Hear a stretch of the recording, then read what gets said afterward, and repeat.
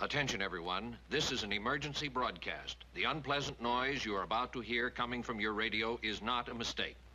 Please do not turn off your radio, but turn up the volume on your receiver as high as it can go so that you can make the sound we broadcast as loud as possible.